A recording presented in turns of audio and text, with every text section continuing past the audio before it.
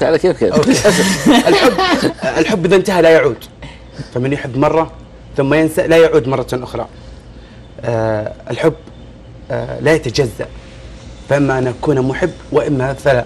الصديق تلاقي صديق مقرب آه صديق عزيز صديق آه قريب. الصداقة أحيانا قد تتحول إلى حب لكن المحب مستحيل أن يكون مجرد حبيب مجرد صديق. مستحيل ان يكون مجرد صديق.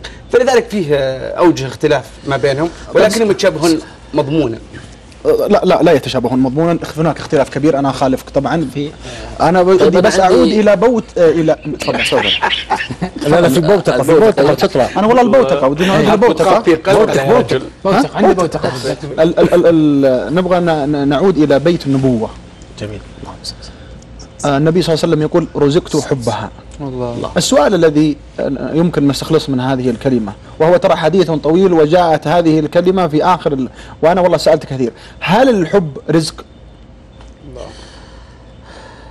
على رسولنا أفضل الصلاة واتم التسليم حينما قال رزقت حبها يقصد خديجة رضي الله عنها. آه هو رزق. و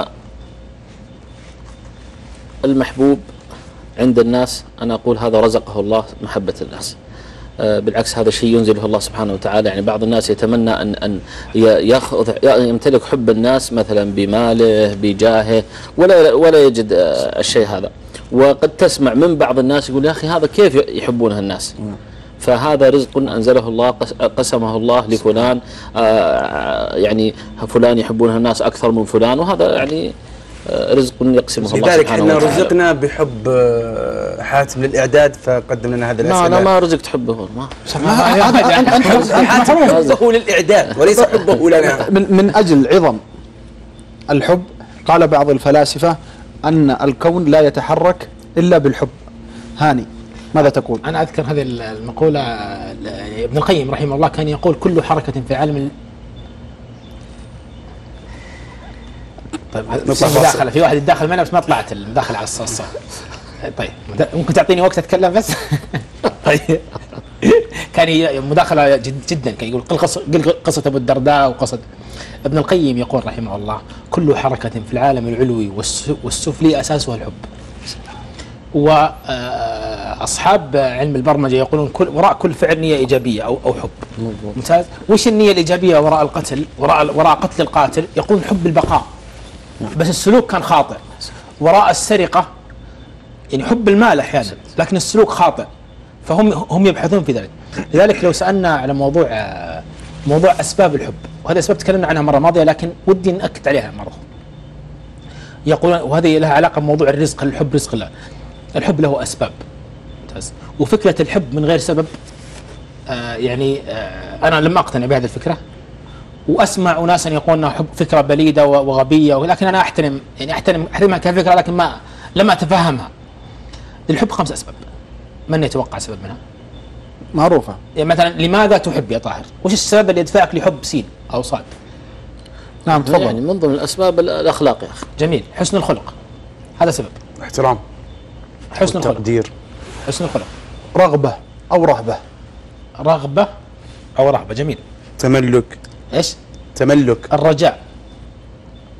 كيف التملك؟ يعني إنك تب- تحب تملك. حب التملك. وهذا أحد عيوب الحب وليس من الصفات. وأيضا من عيوب الحب وأنا أستميحك عذرا الانصهار ما بين ال- العاشقين أو المحبوبين أن نكون جسدا واحدا. وهذا قادح من قوادح الحب. بل كمال الحب أن يكون هناك انفصال. استقلال. استقلالية. ولذلك هنا يكمن عنصر من عناصر الحب ال- وهو إيش؟ الاحترام والتقدير وهما منفصلين. فأنا أحترمك وأقدرك على ما فيك من عيوبك. أما أن تدخل فيه وأدخل فيك رجاء لا. لا لأنه لأنه فكرة انه فكرة الامتلاك في الحب هذه يمكن تتكلم عنها محمد يمكن بطريقة أفضل. في موضوع الحب خمس أسباب. الجمال هذا سبب من أسباب الحب. ولا نخفيه. في أشياء كثيرة تحبها لأنها جميلة ورائعة.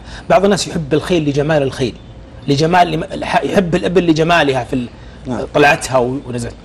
السبب الثاني وطبعا ويحب الأشخاص لجمالهم والزوجة والى آخره. لذلك في موضوع في موضوع الجمال هذه نقطة مهمة للمتزوجين. في موضوع التجمل للطرف الآخر. يا سلام. مو بشرط إن خلاص تزوجنا خلاص صرنا كل شيء صرنا عادي. لا مو بصرنا عادي. التجمل شيء مطلوب. كذلك بعض الناس يعني فكرة إنه خلاص أنا خلاص يعني أحب يعني أق- أقبل بكل عيوب أقبلك بكل عيوبك لكن ريحة فمك ما أقبلها. الله هي تتجمل ولا بيأخذ عليها الثانية؟ ممتاز. يا هجمة يا مرتدة. طيب وهو يتجمل ولا تخلعه؟ طيب شرط قانوني إيه، موجود. جايبينك معنا. جميل. ال- ال- الجمال حسن الخلق. لما من أسباب من أسباب أني أحبك أن يكون خلقك حسن معي. وهذا سبب هذا سبب سابق للحب. فمن من من جمال تعامل كدكتور كأستاذ كصديق ك ك- كزوج كزوجة كمعد. كمعد للبرنامج حسن الخلق كصديق المعد. إيش كصديق المعد. السبب الثالث هو الفضل. أن يكون لك فضل علي. الله. فوجود فضل مثل فضل حاتم يعني. فهذا الفضل دافع من أسباب الحب. والناس خلقت وجبلت على حب من يحسن إليها. يا سلام يا سلام. فكل ما أحسنت إلى الناس الناس مجبولة. احسن الناس تستعبد قلوبهم. اي الله احسن إلى الناس. تستوعب. السبب الرابع هو سبب يا الرجاء. سلام. شفت إني قلتها أنا. الرجاء اللي هو ذكر حاتم. الرجاء وش هو بمعنى آه، طبعا قريب من فكرة الرهبة أنا أرجو من هذا الشيء. ولذلك الناس تحب القوي أحيانا. ليش؟ لأنها ترجو منه. والناس تمجد آه، الناس تمجد الشخص ال- خلينا نقول تحب المدير أحيانا. بمعنى لأنه يملك سلطة وعنده رجاء وفي رجاء فيه رجاء فيه أو في سلطاته أو في كذا. فالناس تحب من أجل الرجاء. فإذا كان فيك شيء يرجونه الناس. بمعنى الفائدة لك كن شخصا مرجوا عند الناس. كن شخصا تقدم للناس خيرا. السبب الخامس العلاقة. فالعلاقة بمعنى أن مع طول العلاقة بيننا لذلك بعض الناس مثلا يحب حيهم القديم. ليش؟ تربط علاقة وذكرى. في علاقة وفي عامل علاقة. الزمن. في, عام عامل من عوامل الوقت والزمن. عشت مع هذا الوقت عشت عشت مع هذا المكان. فكوني أنا صديق لك يا طاهر من 10 سنة من عام 26 هذا السبب يدفعني لأحبك. ليش أحبه؟ والله صديق من زمان. طبعا هو م- ل- للأسف إنه من زمان. ل- ل- للأسف. هذه من أيام الرخص. من عشان عام كده 26 الصداقة ما تنتهي لكن الحب إذا انت لا يعود. أنا ممكن موضوع الصداقة تنتهي ولا ما تنتهي والحب ينتهي هذا موضوع طويل. لكن في فكرة مهمة اللي كنت سألتك فيها بس في موضوع الامتلاك في الحب. أنا ودي بس لأن الوقت دهمنا لم يعد تعدينا المرحلة نبغى بس 30 ثانية نختم عند كل واحد. بس بعد ما يعلق ولا باقي ما يعلق؟ آه، لا بتعليقك. تفضل يا أبو سلمان.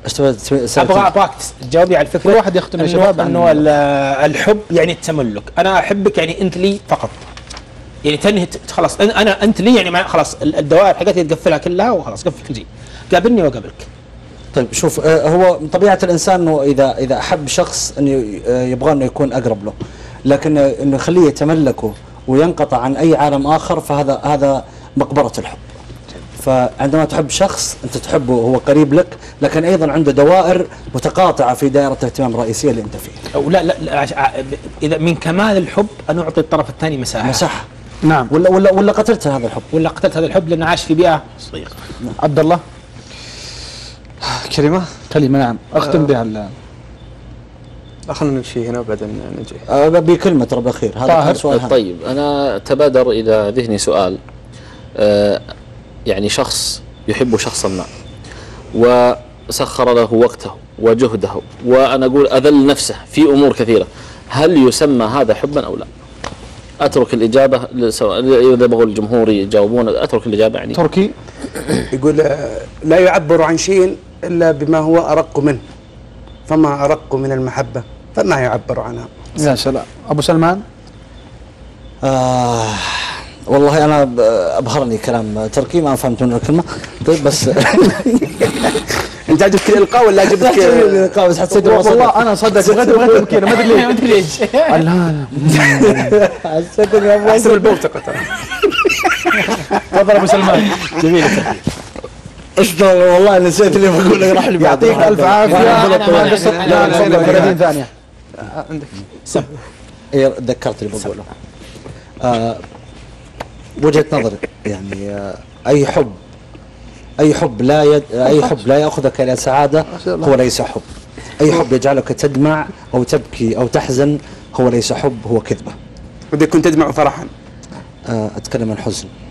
تفضل. آه، قلوبنا وليست مظاهرنا التي تجعلنا نرى الحياة بصورة جميلة. يا سلام.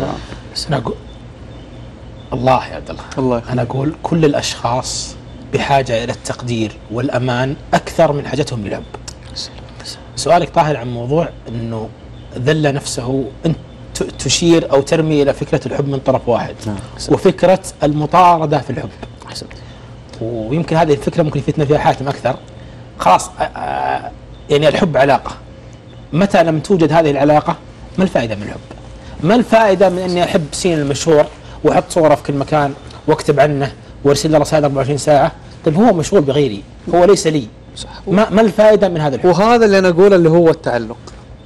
فحب أني آه، أبكي عليه وأفكر فيه وأرسل له واحط صوره واصمم في جوالي واحط خلفية واحط مدري وشه واحط له ورقة تحت تحت ال- مدري وشه ما, ما الفائدة من هذا؟ صحيح. الإنسان العاقل يسأل نفسه ما الفائده؟ حاتم إيش رأيك؟ أنا أقول على عظم آه، أهمية موضوع الحب ولكن أعتقد أن الصبر هو أهم من الحب. ولو ذهب الحب لما كان هناك مشكلة. المشكلة أن يذهب الصبر. من الصبر قد يولد الحب لكن الحب لا يمكن أن يلد الصبر. صحيح. لا نعم. صحيح. السلام. كلام كريم. ها كلموني بعد طيب. ما هو. لذلك لذلك في أي علاقة ترى ال- الانبهار هو أول شيء يحدث. الانبهار بعدين اكتشاف بعدين تعايش وهو من الصبر.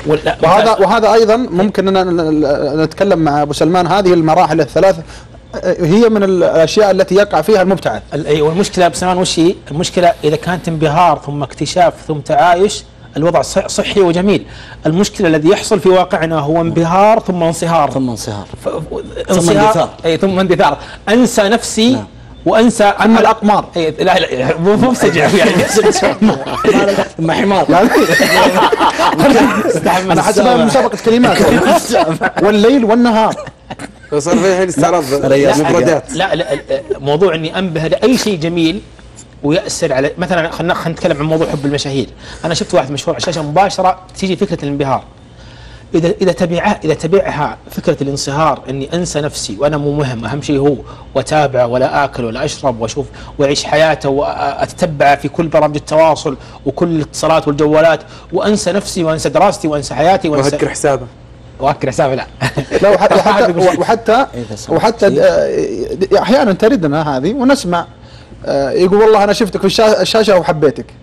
على طول أنا أرد أقول هذا ليس حبا آه مهم جدا ودائما ندرسه في علم النفس أن لكل إنسان شخصيات متعددة. فشخصيتي كإعلامي قد تعجبك. شخصيتي كمدير قد تعجبك. لكن صدقني عندي 20 شخصية ثانية أنت ما تعرفها اليوم عني. آه يمكن لو عرفت واحدة أو ثنتين منها راح تكرهني.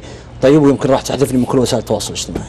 ولذلك يقولون آه، أن الإنسان هو ممثل كبير. لأنه يحمل في آه، في نفسه أكثر من آه، أكثر من شخصية. ويقولون أن هذه الشخصيات هي تمثيلية كبيرة جدا أنت بطلها. طاهر بيقول شيء. أنا والله بس رسالة أبعثها من هنا. آه، أمي وأبي وزوجتي وأبنائي أحبكم. الله اليوم ما شفتم انشغلت. السلام واضح إنها طبخت لك عريكه في شيء؟ لا بس الرسالة هذه هو شكل موضوع. التعدد هو كان في مشكلة. آه، موضوع التعدد. جميل جدا. طيب آه نقاشكم جميل عن موضوع الحب. ويمكن آه موضوع الحب من أكثر المواضيع آه الشائكة. في الطرح. لأنك لما تطرح الحب تتوجه الأسماع والأذهان إلى فكرة الحب. ممكن أنصح بالكتب عنها ممكن. ممتاز. ممكن تتوجه الأذهان وال- والأفكار إلى إلى فكرة إن الحب هو هو, العلاقة. المحرمه لكن الحب هو تراث. وهو آه، شيء جميل بيقول حاتم كتاب وعندي نقطة بس اخيره ما هي كتاب؟ هي كتب. أنا أعتقد أنه آه، لابد أن تتدرج في آه، في القراءة. عن الحب هناك ثلاث كتب. لابد أن لكي يكون عندك هناك تصور. خليك من المعايشة. أنا أرجو إنك تقول كتب حاتم وبطريقه واضحة وتكررها ثلاث مرات لأنه ممكن في واحد يجيك بعد شيء في الدرس تقول لو سمحت ما أسماء الكتب التي ذكرتها. نعم هي فعشان كذا أنا أتمنى من قناة بداية العريفي ان هناك ترجمة للأردو آه، يعني تصل لأصقع العالم يعني. آه، الكتاب الأول هو كتاب ال- ال- العشق أو الحب لابن حزم. بعدها طوق الحمامة. آه، طوق الحمامة. جميل. آه، بعدها روضة المحبين. اذا طوق الحمامة لابن حزم. روضة المحبين لابن القيم. ابن القيم. ثم تنسف الحب نسفا لذم الهوى لابن الجوزي. هكذا يأتي التدرج. ما في أي رغبة أنا بعد بقرا الكتب هذه يعني. والله يعني معلش نهيد طوق الحمامة ابن حزم حمام رائع جدا. روضة المحبين لابن القيم. ذم الهوى لابن الجوزي. هذه الكتب الثلاثة هي ثالثة الأثافي يعني ثلاثة العناصر التي يستقيم عليها الحب والبناء الشامخ. لأنك أنت إن قرأت فقط